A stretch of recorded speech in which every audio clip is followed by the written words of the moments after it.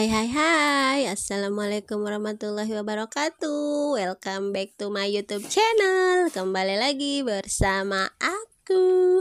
Apa kabar kalian semuanya? Semoga selalu dalam keadaan sehat ya. Seperti biasa ya, aku mau sharing tentang kegiatan aku sehari-hari. Ikutin terus ya video aku, jangan di skip-skip bunda. Nah ini tuh aku lagi metik cabe ya bunda lumayan dapat dua biji karena itu cabenya masih baru banget berbuah Nah, dan terong aku ini udah berbuah ya, tapi belum aku ambil soalnya masih pada kecil-kecil. Nanti kalau udah udah agak besar, nanti bakal aku ambil dan aku bakal bikin videonya ya. Nah, hari ini aku mau masak ikan asin, sambal sama temennya itu apa kemangi ya lalabannya kemangi yang udah tadi aku ambil di kebun ya. Nah sekarang aku mau ceplok telur dulu buat anak aku soalnya dia belum makan ya.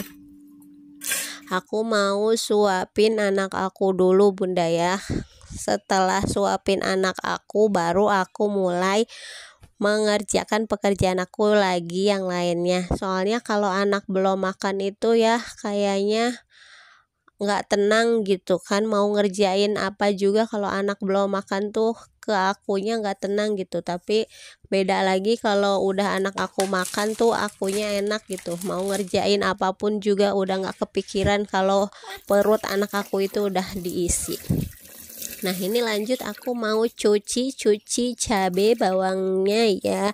Nah ini juga aku cuci ikan asinnya. Aku masak sederhana aja ya Dan masaknya juga nggak banyak-banyak banget. Soalnya cuma buat aku aja Karena suami aku lagi di Jakarta Jadi masaknya yang simple dan ya nggak ribet-ribet ya bunda ya aku lanjut goreng tempenya ya sampai mateng. Dan udah ini udah mateng ya kita angkat aja.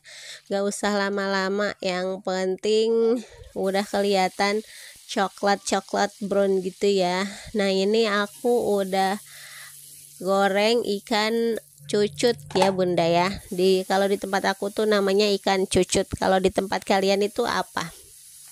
Dan aku lanjut goreng buat sambalnya nah setelah udah beres semuanya baru kita lanjut ulek ya sambalnya kalau bikin sambal itu enakan diulek manual ya rasanya itu lebih enak gitu dibandingkan dengan sambal yang di blender ya. Aku kurang suka kalau sambal itu di blender. Aku lebih suka itu kalau sambal itu diulek ya.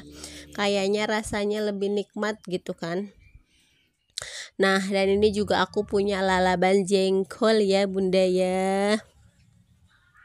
Ada yang ngiler gak? Kalian udah makan belum? Kalau belum, hayu kita makan sama-sama. Nah, ini aku lagi makan ya, Bunda ya. Yang belum makan boleh ya, kita makan sama-sama. Nah, itu tuh kemanginya dapat metik di kebun mini aku ya bunda. Lumayan kan daripada beli kita manfaatin tanaman yang ada gitu kan.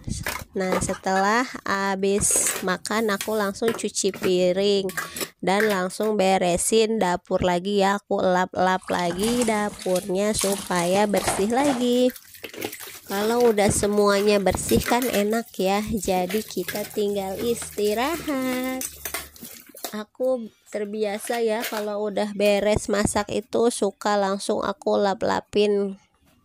Soalnya kan suka banyak bekas minyak gitu ya nyiprat-nyiprat.